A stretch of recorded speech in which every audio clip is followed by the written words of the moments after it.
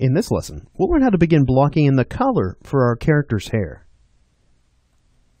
All right, fantastic. So uh, we've got the skin tones out of the way. We're going to move on to the hair at this point. And um, just like with the skin tones, I've kind of done a little bit of preliminary work in thinking about where the highlights are going to be. You know, I want sort of these sharp reflections uh, to kind of lay down right around in these areas where I drew these squiggly lines. So, um, and I drew those kind of those squiggles with the flow of the strands of hair. There's one down here. Uh, we may or may not use all of them, but um, at least I've planned out for their locations. So uh, let's come over here to our browns. And you can see here on this brown tab, there's a lot of really light desaturated colors. So um, thinking about these, let's come in here, grab, uh, let's go ahead and just grab our big broad nib. We'll pull that up. And let's go ahead and make another layer here as well. I'm going to go ahead and on top of my skin layer, I'm going to go ahead and create a new layer. And let's rename this to hair. All right, great. So um, if we were to cycle back and forth here, you can see here there's a lot of deeper, more rich brown colors in this area. But um, let's say we obviously need to have a vision for what we want her hair to look like. Uh, to say brunette, um, there's all different types of brunettes out there. So do we want this to be really a brown hair, but really with some blonde highlights, kind of a sandy blondish brown? Do we want this to be more just straight brown? And um, I kind of think uh, in more along the terms of a sandy blonde with brown mixed in. So um, we're going to have a lot of opportunities to mix different colors into the hair that way. Uh, and I don't want to start off with any of these. These are all very saturated colors. So uh, let's jump back over here and test out some of these colors. Uh, let's come over here and make sure we're not on colorless blender. You can see even that one there is fairly saturated. So uh, let's go ahead and just kind of look at some different ones. That one's not too bad. Uh, I think I like that one actually. So uh, I'm going to come in and just sort of block in the, the volumes of the hair using that one. Now you'll notice here, again, I'm working on the hair layer, so I don't have to worry about destroying any of the work we did on the skin tones. We may have some cleanup work to do in terms of uh, erasing around the edges of the shapes, but we're not destroying any of the skin tones. So uh, and this is going to be a really good base color to build on top of here. So I'm rotating around the canvas, and you'll also notice I'm kind of taking my strokes with the flow of the hair here. So uh, some of these areas where I'm not getting complete and total coverage, I'm not too concerned about that. Um, I'm going to come in here at this point and let's hit the S key and make sure we go over to our eraser. And I am going to kind of peel these strokes away right here because I need to make another pass with the flow of the ponytail. We'll jump back over here to our big broad nib and find a good place to start. Kind of work in some areas back here. Now, inevitably, there's going to be a little bit of overlap here, and that's okay. Um, we're just trying to avoid big distractive uh, areas where the strokes are moving in an opposite direction as the, the flow of the hair. So um, in this one, I don't like this edge right here, and that's going to sort of be a visual distraction if it ends up being visible after we're done coloring. So um, we're going to come in and remove it. You'll notice that these strokes I'm taking right to that edge right there, but I'm not overlapping them too much. All right, fantastic. So we'll come over here, work on her ponytail, kind of where it's leaving her head at the very top. Now, at this point, you can see here that my brush is making a very thin opaque stroke, as opaque as these markers can get. So it's very dark.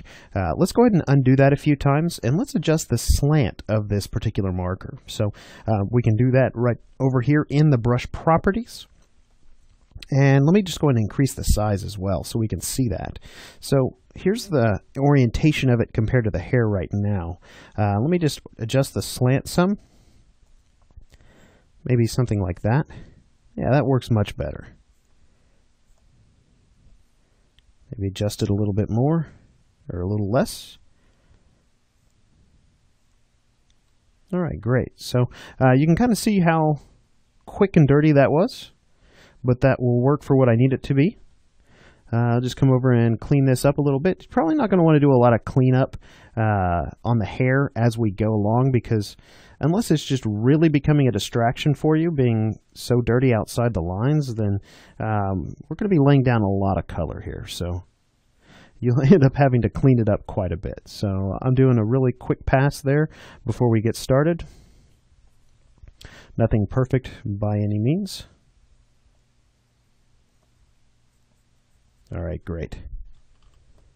Now, I am noticing here that as we were laying down that initial color, I went right over my highlights, didn't even think about it. So uh, let's go ahead and just switch to our eraser if we're not already on it, and just quickly come in and erase away the areas where our highlights were. I'm going to do this very quickly, and you can see I'm doing it with a, an eraser that has a hard edge on it, so uh, we're going to have to come in and fix that, of course. Because no other highlights on our character were white, and you guessed it, we're not going to leave these white either. So uh, I'm going to come in, just sort of peel back some of this marker.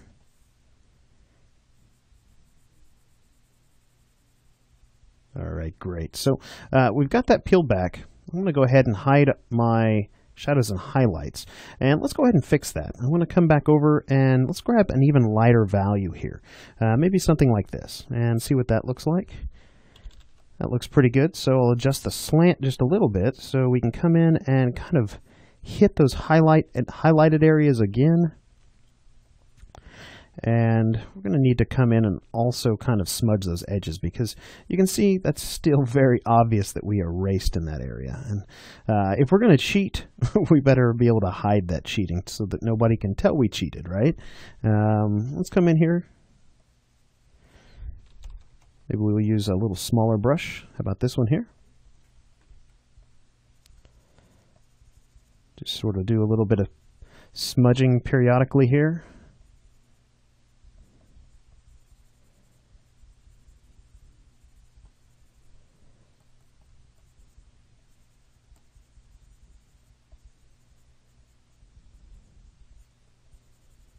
Just like so.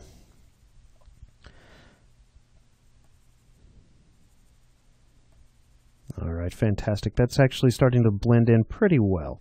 Um, you can see I'm not necessarily blending every single edge, but anywhere where I see the roundness of that brush tip uh, that, that clues me in that I've erased, I'm going in and I'm, I'm smudging that around. So uh, just come in just like so. Now I'm also smudging both ways here. I'm smudging the highlight into the darker areas, and I'm smudging the darker areas into the highlighted areas. So uh, don't feel like you, if, you, if you're following along with me right now, don't feel like you just need to smudge one direction.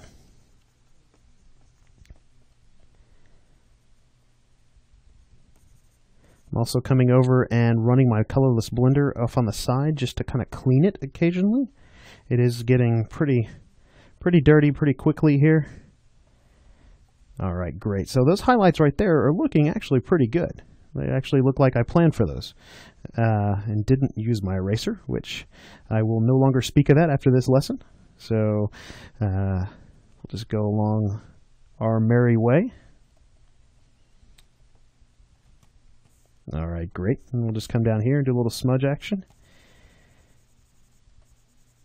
All fantastic. So highlights are looking really, really good. Now, uh, the thing about hair like this is we can get away with really dumping a lot of really nice warm hues into it. It's really accepting of uh, reds, purples, um, deeper, darker colors. So um, in the next lesson, let's go ahead and pick up where we're leaving off here, and we'll start bringing in those darker values and, and additional colors gradually into the hair here, taking into consideration the volumes of the hair as well as the light source. So again, we'll get started with that in the next lesson.